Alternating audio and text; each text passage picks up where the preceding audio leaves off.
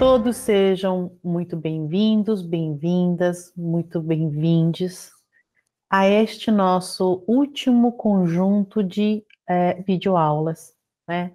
A gente já transitou por tantos assuntos, por tantos conteúdos importantes para se pensar o letramento em Libras, e agora a gente inicia mais um conjunto, né, de três videoaulas que vão falar a respeito do ensino do português como L2.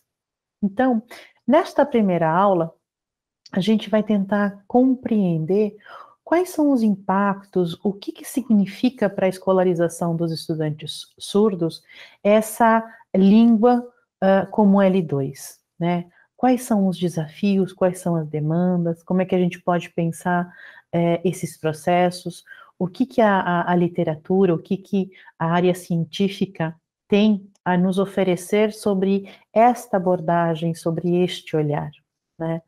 Porque para nós, enquanto professores e professoras, é um desafio bastante efetivo pensarmos na língua portuguesa como L2. Por quê? Porque para nós ela é L1. Para nós ela é estruturante do nosso pensamento. Ela é fundante das nossas formações de conceitos. Então, é, o desafio que eu trago para todos, todas e todos nós nesta, neste encontro é que a gente olhe para esta língua como uma língua que não é a língua de estruturação de pensamento, que não é a língua de formação de conceitos, que não é a língua que vai subsidiar a elaboração em outras línguas. Então, gente, vamos pensar agora é, o que, que é esse português, como é que se faz, como é que se pensa isso, né? Nas, na outra aula, uh, na outra videoaula, a gente vai uh, falar sobre as atividades, vai mostrar atividades, vai propor algumas atividades que estão num, numa produção muito importante, né, da professora Ronice, que foi feita para o MEC, mas neste encontro vamos pensar os impactos e o é, por que a gente vai ensinar o português como segunda língua para estudantes surdos. Né? É, a, a Loine Carnop traz para a gente nesse, nesse trecho que ela escreve, né? O trabalho com a escrita será fundamentado no uso da língua de sinais, língua essencialmente visual, cabendo ao professor incentivar o contato com materiais escritos, para que ela venha a sentir necessidade do ler e escrever. Gente, isso é muito importante. E aí eu retomo aquilo que a gente disse, que foi uma dica dada pelo professor da, da Galaudê, né, professor Steve, que ele dizia para a gente, é, deixe as palavras, não, não tenha um foco ou é, use isso como algo de instrução mas permita que as palavras estejam presentes na escola e na sala, porque elas estão na sociedade. E é isso que o estudante surdo precisa entender, que ele de partida vive dois mundos, vive duas línguas, vive nesta comunidade surda que para ele é estruturante e é constituinte da sua identidade, e também vive nessa sociedade ouvinte que vai produzir fala com a qual ele vai se comunicar por meio da escrita. Existe uma, uma discussão entre teóricos da área, né, da aquisição da oralidade pela pessoa surda, né, a importância disso, ou a demanda disso, ou a necessidade disso. Mas nós partimos do pressuposto de que a criança surda que tem a língua de sinais como sua língua 1, ela não precisa da oralidade ela vai ter que cumprir sim o que consta no documento legal, né, que é a, a lei da Libras de 2002, é, de que ela vai ter que adquirir essa língua escrita. Então, é também específico que a gente tenha em mente que uh, ensinar português como L2 é pensar o seu ensino na produção escrita. Então, Professora Karina, então ensinar português como L2 é apenas, é, ou não é apenas, né, gente, porque é bastante complexo, mas é ter prioritariamente o ensino da escrita. Sim, é isso que define a legislação. É isso que a gente tem como compromisso e a escola tem como função. Então, nós, educadores, educadoras, professores, professoras, teremos que viabilizar e favorecer a aprendizagem das crianças surdas uh, do português escrito.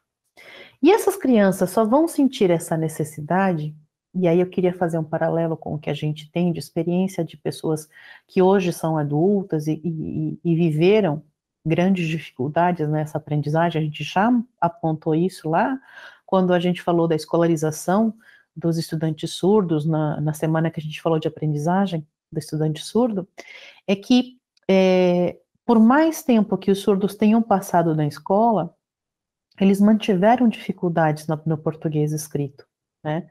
E eu diria que neste movimento, isso decorre muito mais dos processos e, e, e, das construções didáticas que foram feitas, a metodologia de ensino mesmo, né, para ser muito franca em relação a isso, e do que um processo decorrente de, de ter a língua de sinais como, como L1, né? Então, e também é, para esses estudantes em que a, a, a, português vem como uma segunda língua e ele é escrito, antes da lei, a gente tem uma questão muito é, importante que é a frustração, muitas vezes, dos estudantes com a, a produção dessa, dessa língua. Né? A, a, produção dessa língua não é uma, uma, uma demanda que, que seja boa, que seja produtiva. Né? Então, eu preciso possibilitar, eu preciso colocar no convívio dessa criança a demanda pelo, pelo ler e escrever. É a partir daí que eu vou conseguir fazer com que ela aprenda. Ela precisa ter a sentir a necessidade de adquirir essa língua, de se comunicar nessa língua, para que ela realmente possa viver esse processo. É importante também que a gente eh, compreenda que, para lidar, e acho que isso a gente vai retomar os textos tanto da professora Cláudia quanto da professora eh, Ana Lodge, de que eh, a questão do letramento surdo, e eu acho que isso é importante a gente deixar bastante claro, né? essa questão do letramento surdo, ela tem a ver muito mais com a, a ideia completa da frase que você quer transmitir em português, em Libras primeiro, para você poder fazer essa, essa construção. Então, a pessoa precisa ter muita clareza da, do que ela quer expressar em Libras, para que aí haja uma adequação, haja uma, uma não, não uma, uma mera transposição, mas uma produção em português. Acho que é importante a gente deixar isso claro. A, a, produção, e aí é uma relação que eu acho que ela é fruto de quem estuda a língua de sinais, estuda o português também, né? Não é apenas uma língua substituir a outra, mas é usar todo o, o instrumental da língua para permitir a maior clareza daquilo que você quer transmitir. Então, é, é importante que a gente gere essa demanda, essa necessidade de ler e escrever. E nisso a gente é bastante é, feliz, né? A gente é, é, consegue fazer isso, a gente se planejar, é, é, consegue criar, gerar essa demanda. Então, é por aí que a gente precisa pensar o ensino do português como L2 para estudantes surdos, né? Os surdos e os alunos ouvintes, expostos ao português escrito, irão construir suas hipóteses de gramática, então é importante essa construção que se faz, né? De que é, a partir do contato com a língua, a gente vai construindo hipóteses gramaticais. Isso também acontece com conosco, ouvintes, quando a gente vai aprender a língua de sinais. A gente cria essas, essas hipóteses que elas vão ser ratificadas ou não, e a gente tem que desconstruir caso elas estejam equivocadas, mas é. Por que, que a gente faz essa construção de hipóteses? Porque a gente parte da língua que a gente tem como L1. Então, essa língua de sustentação é que vai me possibilitar pensar essas, essas hipóteses, né? Então, ainda que não se apoiem na oralidade, os surdos desenvolvem estratégias para a compreensão do funcionamento do português escrito. Mas para que isso aconteça, eles precisam ser trabalhados com textos e não com vocabulários isolados, que era isso que eu tentava materializar na nossa no nosso slide anterior, né? Para ensinar e fazer o letramento surdo, eu não posso usar palavras isoladas, eu preciso trazer textos, eu preciso trazer ideias, eu preciso ter muita clareza daquilo que eu, preciso, que eu quero é, transmitir para outra pessoa, comunicar. Né? Então, é somente a partir daí que a gente consegue fazer essa, essa demanda e gerar o desejo de aprender. Tá? E é fundamental uh, essa demanda ela nunca vai se apoiar na oralidade, porque estudante surdo usuário de língua de sinais, ele não vai ter essa demanda de oralidade, mas ele tem a demanda de se comunicar com o outro. E a nossa sociedade, majoritariamente, é uma, uma sociedade que funciona em português, né? Então, é importante que a gente compreenda isso. O estudante, seja surdo, seja ouvinte, vai construir hipóteses da gramática de uma nova língua a partir da língua que ele tem, o que pode trazer vários problemas, né? Ou pode favorecer. Mas também é importante que é, se pense, né, que é, ao não apoiar essa, essa construção na oralidade, o, o surdo ele precisa ter essa materialidade. A materialidade da língua para ele não é a palavra solta, mas é a ideia que se propõe, o texto. Não é trabalhar com palavras, mas pensar em texto. Né? E esse uso cotidiano, esse uso nas relações, esse uso social da língua. Né? Então, ah, temos a língua de sinais assumindo a mediação entre os interlocutores. Olha só, a Gesueli traz isso para a gente num dos textos que a gente tem como de apoio aí na, na, na disciplina. Né? Então, ele, é, a língua de sinais ela é uma mediação entre interlocutores que vão fundando o processo de conhecimento, né? A elaboração ou a formação dos conceitos. Retomando aí novamente, é importante que a gente tenha clareza disso. A centralidade da língua de sinais para esta formação de conceitos. Pois este não acontecerá fora da linguagem. Então, é impossível que se faça uma formação de conceitos fora dos processos de linguagem, neste caso da língua de sinais. Isso porque não existe atividade mental sem expressão, mas ao contrário, é a expressão que organiza a atividade mental.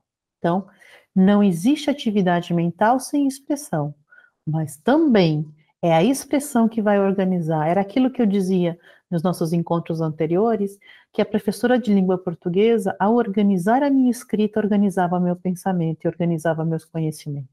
Então, é, é fundamental essa, essa citação que a Jesuele faz do, do Bakhtin, né? Então, a atividade mental, ela precisa, ela está subsidiada nessa língua, na língua que vai ser de comunicação ou de mediação entre os interlocutores.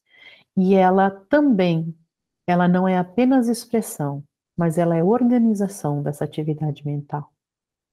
Então, é importante que a gente sempre compreenda que o estudante surdo, ao aprender a língua portuguesa, ele vai usar a sua língua como base. O professor precisa conversar na língua de sinais sobre o que a leitura estará tratando. Então, gente, não adianta você também colocar o texto na frente da criança surda e considerar que pela leitura ela vai ser capaz de compreender o que está ali. Eu preciso fazer uma explicação em língua de sinais. Eu preciso orientar essa leitura em língua de sinais. Eu, nesses anos todos, acho que eu tenho compreendido cada vez mais que não adianta você dar um texto para um estudante e querer que ele leia, que ele destaque aquilo que você quer, que ele seja capaz de fazer todas as construções que muitas vezes nós mesmos não somos, porque não tivemos uma orientação para isso. Então, é fundamental que a gente compreenda que é, é, é, essa explicação, essa explicitação dos objetivos, eles vão acontecer a partir dessa uh, introdução com língua de sinais, né? Isso não necessariamente implica em ler os textos em sinais, não é fazer a, a tradução, mas é explicar o objetivo, é trabalhar com a, a, a ideia, é explicitar o que você pretende com esse texto mas sim conversar sobre o texto ou trazer o texto dentro do contexto das atividades já em desenvolvimento na sala de aula. Além disso, muitas vezes, discutir sobre alguns elementos linguísticos presentes no texto pode ser útil para o aluno que está aprendendo a ler. Então, é importante que a gente faça cuidadoso rastreamento aí dessa estrutura. Isso é um artigo, essa preposição, vamos entender como é que essa preposição faz essa ligação neste momento, é, por que, que ela existe. Então, é, não podemos considerar que uh, os conhecimentos gramaticais eles vão é, surgir de uma forma espontânea. Eles precisam ser objeto de é, sistemática é, é, é, uma, é uma, uma, construção sistemática disso, é uma explicitação dos processos, né? É nós pararmos para trabalhar a metalinguagem com eles, né? Trabalhar nessa, nesse pensar a própria linguagem. Então, eu queria destacar isso. É fundamental que nós façamos uma introdução em língua de sinais, que expliquemos o que pretendemos em língua de sinais e façamos, façamos uma leitura compartilhada, façamos o destaque de alguns elementos, porque isso auxilia ao processo de desenvolvimento e de maior autonomia desse estudante ou dessa estudante nos processos de leitura e também de escrita. Que a gente precisa ter a clareza da compreensão, tanto do estudante para produzir o texto, quanto uh, da pessoa que vai receber o texto que esse estudante vai escrever para uh, comunicar, né? Ao discutir a questão da leitura e da escrita em crianças surdas, Lani Hofmeister e Barham referem que todas as crianças, também as surdas, necessitam de conhecimento do mundo, de, do modo que possam recontextualizar o escrito e daí derivar o sentido. Gente, isso é central, isso é muito, muito, muito, muito importante. Uma pessoa que não tem repertório de mundo, uma pessoa que não tem repertório de conceitos cotidianos, uma pessoa que não tem essa apropriação linguística, ela tem é, severos comprometimentos. Por quê? Porque elas precisam ter é, essa possibilidade de, de acesso à informação e também compreender esse sentido que aquele texto pode ter para ela. Sentido no sentido vigotskiano de é para si, de construção individual, de busca dentro de si mesmo dos conceitos, dos espaços. Então, é, pensando nessa orientação e nessa, nessa forma de, de construir esse ensino, é, eu só vou conseguir ensinar uma criança surda se eu tiver uh, também possibilitado a ela que se aproprie desse mundo, que ela signifique esse mundo. E aí ela vai conseguir fazer essa compreensão e esse é, encontro com uma outra língua que também quer significar esse mundo, mas que tem especificidades. Né? Esta, a meu ver, a maior contribuição da língua de sinais para a aquisição da escrita pelos surdos. É através dela que os alunos surdos poderão atribuir sentido ao que leem, deixando de ser meros decodificadores da escrita. E é através da comparação da língua de sinais com o português que irão construindo seu conhecimento de português. Sim, essas duas estruturas linguísticas, e que a gente chama aí de análise contrastiva, vão se articulando e vão dialogando para que ele consiga compreender a funcionalidade da língua portuguesa, o seu uso, a sua estrutura. Porque a gramática ele vai aprender durante a vida. Nós, nós que somos usuários da língua é, portuguesa, ainda temos dúvidas com algumas palavras, como é que elas são escritas. Então, é, isso também acontece com as pessoas surdas, né? Gente, isso era o conteúdo que nós tínhamos para conversar agora sobre esse ensino da língua portuguesa como um primeiro elemento para essa discussão, certo? Aguardo vocês para que a gente converse sobre atividades. Que tipo de atividades? Como é que elas se constroem? Elas realmente são bilíngues? A gente se vê em breve.